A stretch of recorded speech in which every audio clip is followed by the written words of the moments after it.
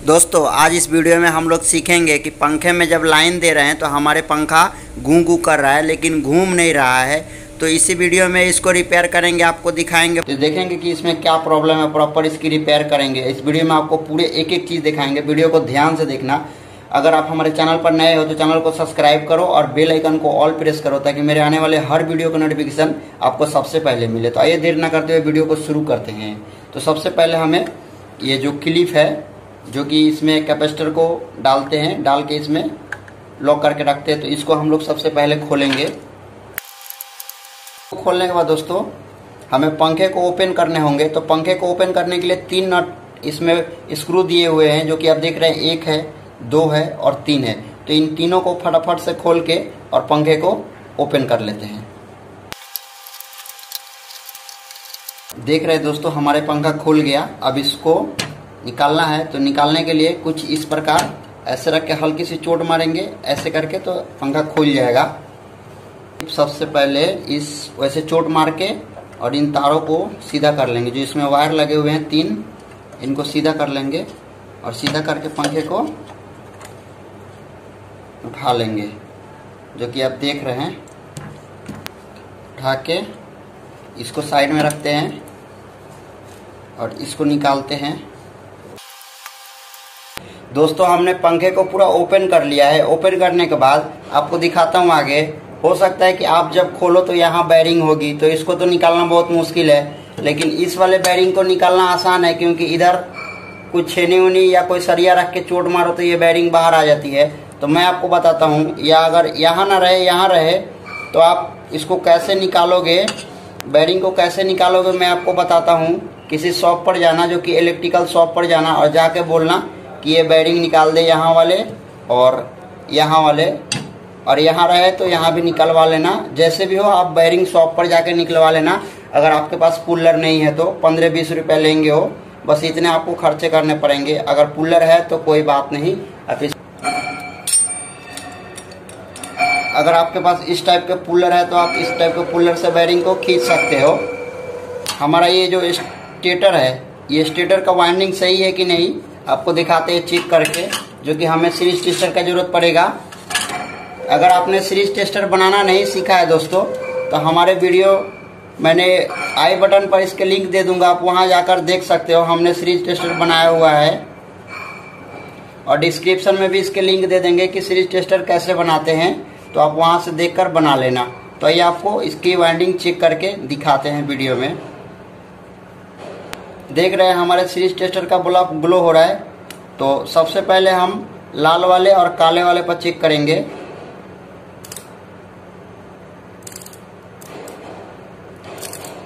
देख रहे हैं स्पार्क कर रहा होगा मतलब ये हमारा पंखा सही है। अगर बल्ब तेज ग्लो करे तो पंखा खराब है। इसके साथ बॉडी अर्थ भी चेक कर लेंगे।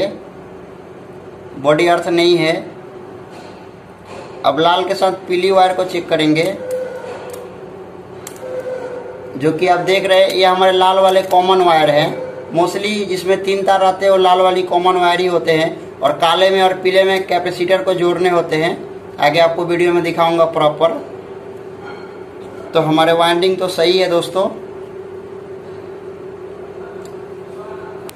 अब इसकी फिटिंग करके आपको दिखाते हैं प्रॉपर कि जो इसमें जो हमने बैरिंग निकाला था दोस्तों, आपको दिखाऊँगा कि आप देख रहे हो, हमारी ये बैरिंग पूरा खराब हो चुका है। और ये घूम नहीं रहा है, बहुत जाम है।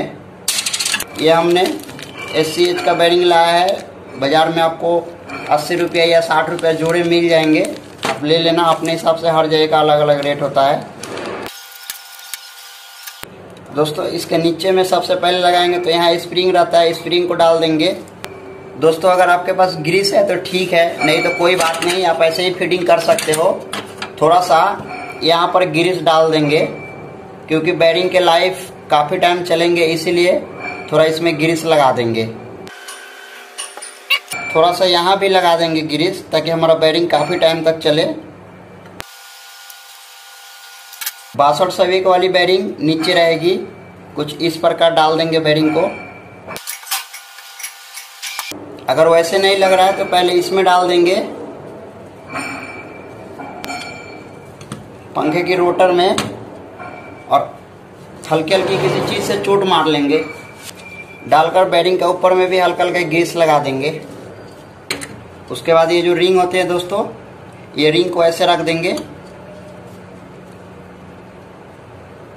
तीनों तरफ़ से पूरे बैठने चाहिए, उसके बाद स्टेटर को डाल देंगे स्प्रिंग को ध्यान रखेंगे। इस बैरिंग में भी थोड़ा ग्रीस डाल देंगे। इसमें बैरिंग को डालकर हल्की चोट मार के बैठा देंगे। हल्के हल्की चोट मारेंगे, ज़्यादा ज़ोर से नहीं नहीं तो हमारा ये बैरिंग खराब हो जाएगा। और कुछ इस प्रकार से पंखे को फिट कर देंगे। आगे आपको दिखाते हैं दोस्तों, जो इसका ऊपर वाला कवर होता है। जैसे हमने खोला था, बिल्कुल उसी प्रकार ऊपर वाले कवर भी डाल देने हैं। जो कि यहाँ पर तीन स्क्रू होते हैं टाइट करने के लिए तो उसके मिलाकर इसको डालेंगे ताकि स्क्रू डालने में दिक्कत ना हो। दोस्तों, इसको डालने के बाद इस पर ना, इस पर हल्के हल्की चोट मारेंगे, हथौड़ा से, बराबर से मारेंगे ताकि हमारा ये बैठ जाए। जो कि सुराख को, जिसमें हमें स्क्रू टाइट करना है, उसको मैच करके मारेंगे।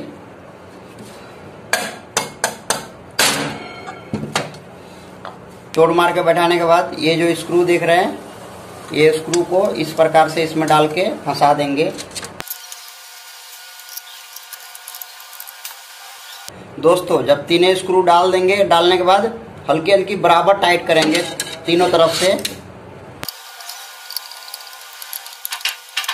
और ऐसे ऐसे घुमाएँगे भी पंखे को और घुमा के देखते रहेंगे कि पंखा फ्री है कि जाम। अगर नहीं बैठता है तो हल्के हल्की चोट मारेंगे हथौड़ा से चारों तरफ़, कुछ इस प्रकार से। दोस्तों, चोट मार के फिर से बराबर टाइट करना है।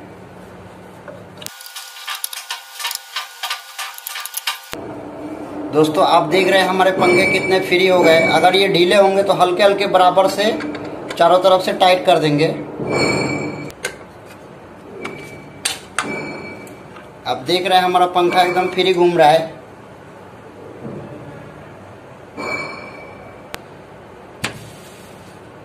देख रहे हैं दोस्तों, पंखा एकदम फ्री घूम रहा है और इसमें कोई साउंड भी नहीं है। तब इसकी कनेक्शन करते हैं और आपको चला के दिखाते हैं। हाँ इसमें तीन तार है। मैं आपको बताता हूँ। ये क्लिप सबसे पहले लगा देंगे।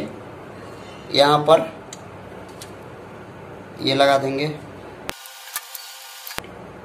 इसमें जो कैपेसिटर लगाएँगे दोस्तों, आप देख रहे हैं।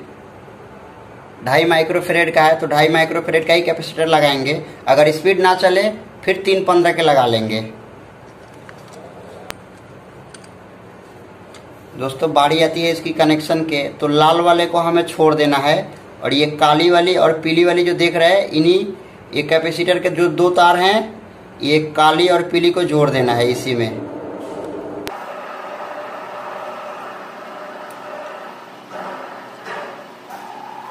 और ये पीली वाली वायर को ये क्लिप के यहाँ पर टाइट कर देंगे। क्लिप में तीन तर, थ्री टर्मिनल होते हैं, जो बीच वाले में हमें टाइट कर देना है। और ये रेड वाले को दोस्तों, सबसे ऊपर वाले टर्मिनल में टाइट करना है। और ये जो ब्लैक वाली वायर है हमारी, ब्लैक वाली को सबसे नीचे में कर देना है टाइट।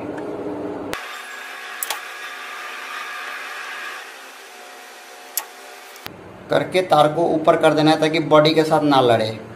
हमारी ये कनेक्शन हो गए कंप्लीट वीडियो में बने रहिए, आगे आपको और दिखाते हैं इसमें बहुत चीज़ है। दोस्तों, इस पाइप को भी लगा देंगे और ये फाइनल तार लगा देंगे जो कि, जो बंदा ले जाए तो इसमें जोड़ ले और इधर उधर ना जोड़ना पड़े। मैं आपको दिखाता हूँ वीडियो में। सबसे पहले ये जो कप है कप को डाल देंगे। इस प्रकार से कप को डाल लेंगे दोस्तों। जो कि ये जो प्रिंटेड होता है, ये ऊपर आता है ताकि ब्रांड को भी शो करे। और तार को यहाँ पर जो सुराग है, सुराग के अंदर से डाल लेंगे। इधर आएगा। यहाँ से आगे को खींच लेना है। आधी एम एम के तार है दोस्तों। ये रहा नट बोल्ट।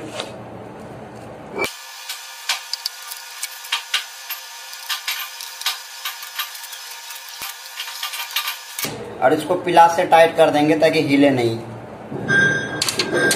दोस्तों, उसके बाद ये जो पिन रहता है, ये पिन को लगा देंगे ताकि लॉक हो जाए। कभी खुल के गिरे ना पंखा हमारा। अगर आपके पास लॉक नहीं है तो कोई तार तूर लपेट देना इसमें। हो गए। अब इन दो तारों को, जो यहाँ दो टर्मिनल है, वो दो टर्मिनल में जोड़ देंगे, ये दो तारों को।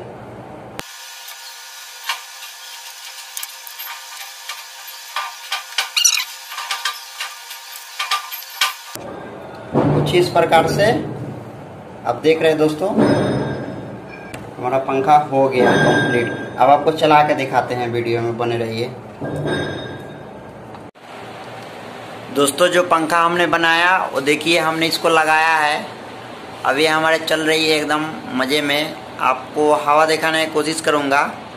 देख रहे हैं, वो जो हमारे बोर्ड है, वो हिल रहा है, और भी बहुत सारे चीज़। वैसे नॉर्मली हवा है।